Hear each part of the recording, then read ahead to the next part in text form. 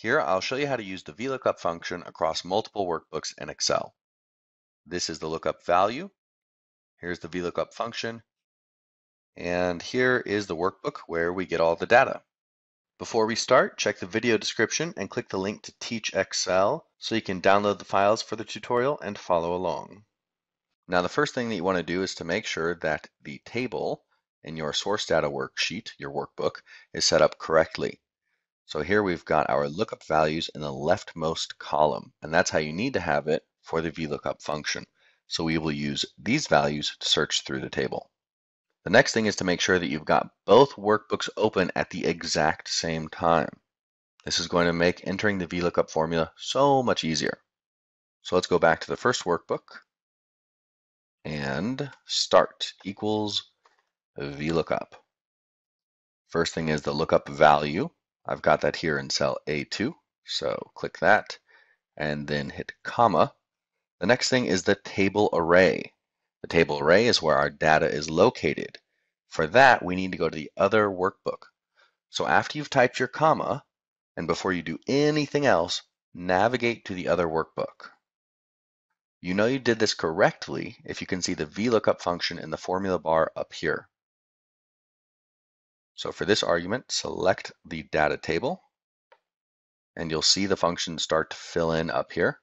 Don't worry, it looks a little bit funny up here for the range reference, and I'll explain that towards the end of the tutorial. Now that we've selected the table array, type a comma to go to the next argument, and you'll see the argument list for the VLOOKUP function display underneath the formula bar. Do not go anywhere else. Do not go to the original workbook or another worksheet or anything like that. We finish entering the function here on our source data workbook.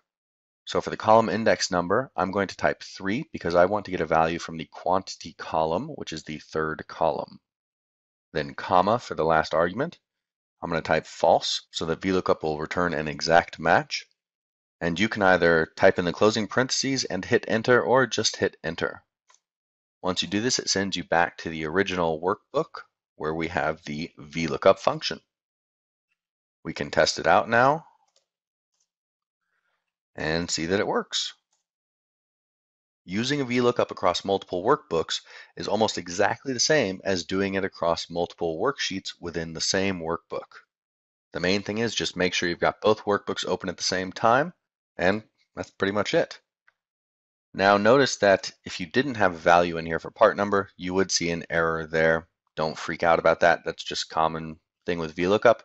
If you want to get over that, you can just surround the VLOOKUP with the if error function and put an empty space for the last argument, and it would look like that. I'm not going to focus too much on the if error function here though, so let's move on. The VLOOKUP function looks a little bit different when we open it up because here, not only do we have the range reference for the table array, we have the sheet reference and the name of the workbook. So the workbook that contains the table, the worksheet within that workbook that contains the table, and then the range reference on that worksheet. This is what's going to look different in a VLOOKUP across multiple workbooks versus one where everything is on the same worksheet. Now let's save and close this workbook and reopen it, and there'll be a few things to check out.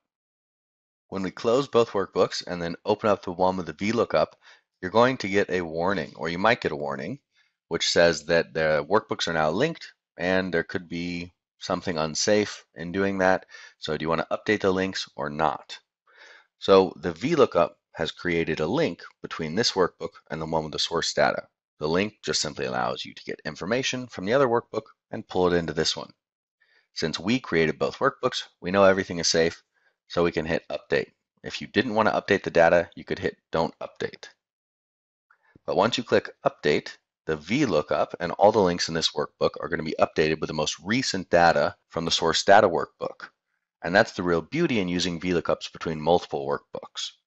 You may also see a warning up here at the top of Excel that says that links have been disabled, and it gives you a button to click to enable them. If you don't enable them, the links aren't going to be updated. If you do enable it, you can have the links updated to get the most recent data. Now, if we double click this and look at the VLOOKUP now, it looks different than it did before. Here, in front of the name of the file, I've got the directory path, so the location of this file on the computer. This is because the other workbook, the source data workbook, is currently closed. Don't mess with this.